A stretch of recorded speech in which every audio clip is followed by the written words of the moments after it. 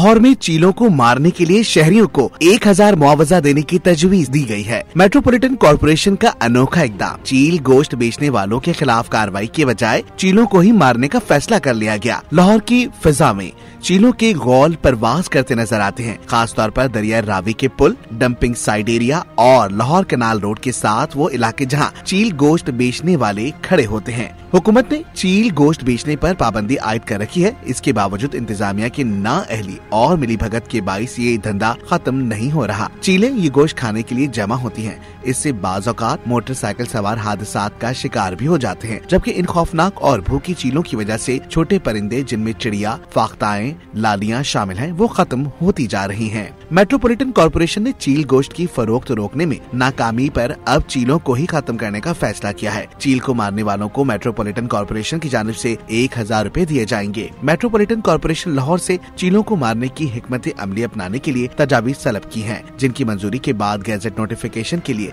Section officer regulation ने मुरासला जारी कर दिया है। लोकल गवर्नमेंट एक्ट 2022 के सेक्शन 140 ए के तहत जारी मुरासले में कहा गया कि चील को मारकर लाने वाले शख्स को एक हज़ार रूपए बतौर इनाम दिया जाएगा। चील मारने वाले शहरी को एक हज़ार रूपए इनाम देने की तजवीज national alliance for animal rights activist and advocates ने इस इकदाम को हाईकोर्ट को चैलेंज करने का फैसला किया है।